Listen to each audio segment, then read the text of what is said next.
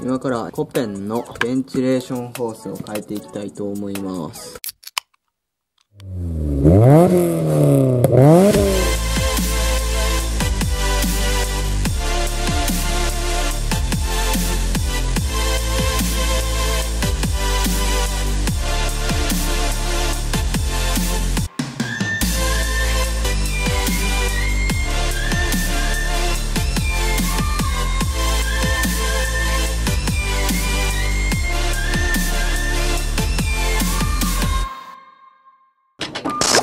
タービンからサージタンク行ってサージタンクから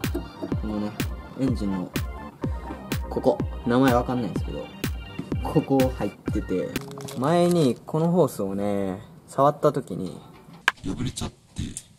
応急処置として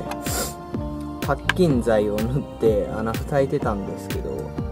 最近また漏れてきましてでこれで1年ぐらい乗っててるんでそろそろ変えようっていうので今回ねベンチレーションホースっていう名前やったんでここのホースが。でこれ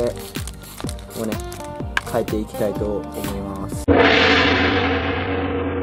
ベンチレーションホースの型番が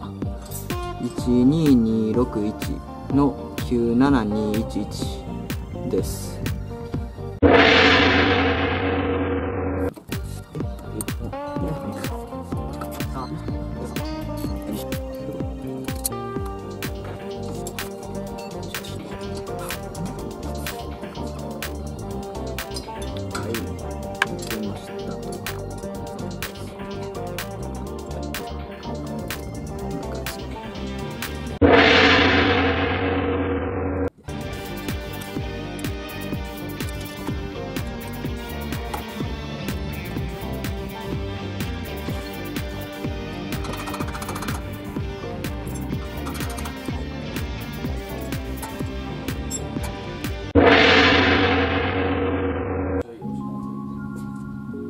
はい、でこんな感じで取り付けました。は